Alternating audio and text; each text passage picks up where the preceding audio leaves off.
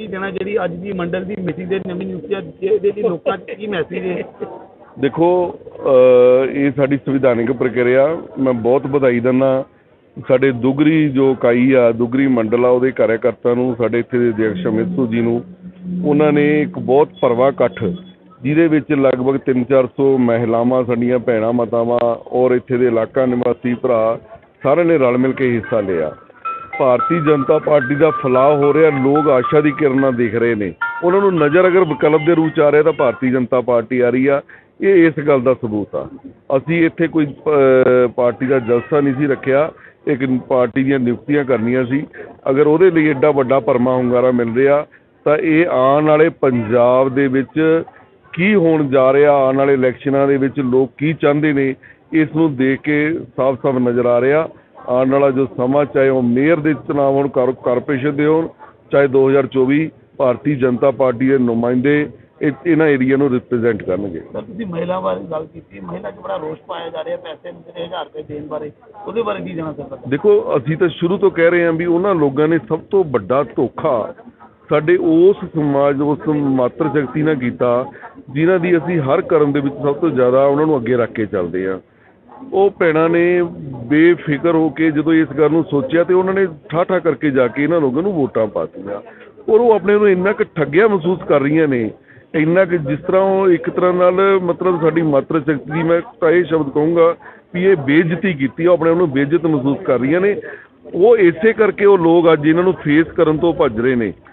ਉਹਨਾਂ ਨੂੰ ਆਣਾ ਪਏਗਾ ਇਹਨਾਂ ਦੇ ਵਿੱਚ ਔਰ ਇਹ ਜਨਤਾ, ਇਹ ਮਾਤਰ ਸ਼ਕਤੀ ਪੰਜਾਬ ਦੀ ਜਨਤਾ ਉਹਨਾਂ ਦੀ ਹਰ ਝੂਠ ਦਾ ਜਵਾਬ ਦੇਗੀ ਔਰ ਡਟ ਕੇ ਦੇਵੇਗੀ।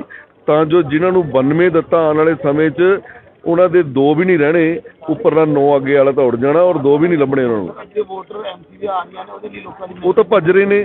ਮੈਂ ਤੁਹਾਨੂੰ ਪਹਿਲਾਂ ਕਹਿ ਕੇ ਹਟਿਆ ਨਾ ਵੀ ਇਹ ਚੁਣਾਵ 3 ਮਹੀਨੇ ਪਹਿਲਾਂ ਹੋ ਜਾਣੇ ਸੀ। ਅਗਰ ਸਰਕਾਰ ਦੀ ਨੀਅਤ ਸਾਫ਼ ਹੁੰਦੀ ਤਾਂ ਇਹ ਚੁਣਾਵ 3 ਮਹੀਨੇ ਪਹਿਲਾਂ ਕਰਾ ਦਿੰਦੀ। ਉਹ ਸਰਕਾਰ ਡਰ ਰਹੀ ਆ ਭੱਜ ਰਹੀ ਆ। ਔਰ ਉਹਦਾ ਭੱਜਣ ਦਾ ਨਤੀਜਾ ਵੀ ਉਹਨੇ ਅਗਲੇ ਆਉਣ ਵਾਲੇ 6 ਮਹੀਨੇ ਤੱਕ ਚੁਣਾਵ ਨਹੀਂ ਕਰਾਣੀ ਅਗਰ ਇਹੀ ਹਾਲਾਤ ਰਹੇ ਤਾਂ। ਅੱਜ ਅਮਿਤ ਸੂਦ ਜੀ ਵੱਲੋਂ ਡੁਗਰੀ ਮੰਡਲ ਦੇ ਪਦਅਧਿਕਾਰੀਆਂ ਦਾ, ਅਹੁਦੇਦਾਰਾਂ ਦਾ ਅਨਾਉਂਸਮੈਂਟ ਕੀਤੀ ਗਈ ਹੈ। ਮੈਂ ਜਿੱਥੇ ਸਾਰੇ ਮੰਡਲ ਦੇ ਜਿਹੜੇ ਨਵੇਂ ਅਹੁਦੇਦਾਰ ਬਣੇ ਆ, ਉਹਨਾਂ ਨੂੰ ਵਧਾਈ ਦਿੰਦਾ।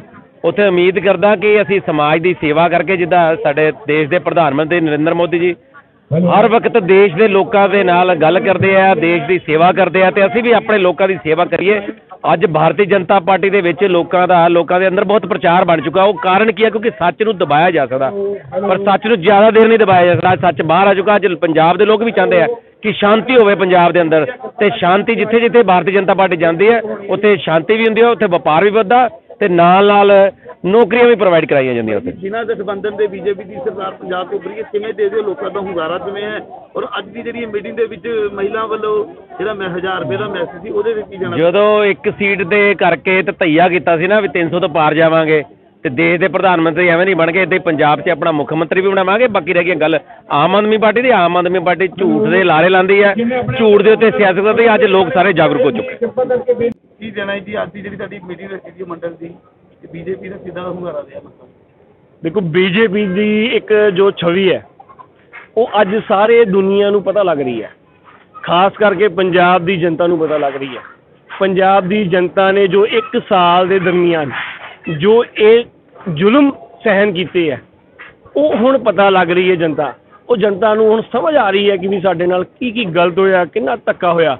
ਇਸ ਕਰਕੇ ਹੁਣ ਹਰ ਖੁੱਲ ਕੇ ਅਸੀਂ ਬੀਜੇਪੀ ਹਰ ਇੱਕ ਬੰਦੇ ਨੂੰ ਹਰ ਇੱਕ ਗਰੀਬ ਇਨਸਾਨ ਨੂੰ, ਹਰ ਇੱਕ ਪੜ੍ਹੇ ਲਿਖੇ ਅਨਪੜ੍ਹ ਇਨਸਾਨ ਨੂੰ ਇਹ ਸਮਝਾਉਣ ਦੀ ਕੋਸ਼ਿਸ਼ ਕਰ ਰਹੀ ਹੈ ਕਿ ਵੀ ਬੀਜੇਪੀ ਅਗਰ ਪੰਜਾਬ ਦੇ ਅੰਦਰ ਵੀ ਆਏਗੀ, ਤਾਂ ਜੋ ਪੰਜਾਬ, ਜੋ ਪੂਰਾ ਹਿੰਦੁਸਤਾਨ ਖੁਸ਼ ਹੈ, ਪੰਜਾਬ ਤੋਂ ਇਲਾਵਾ ਉਸ ਤਰੀਕੇ ਨਾਲ ਪੂਰੇ ਹਿੰਦੁਸਤਾਨ ਜਿਹਦੇ ਖੁਸ਼ ਹੈ, ਉਸੇ ਤਰੀਕੇ ਨਾਲ ਸਾਡਾ ਪੰਜਾਬ ਵੀ ਖੁਸ਼ ਹੋਏਗਾ।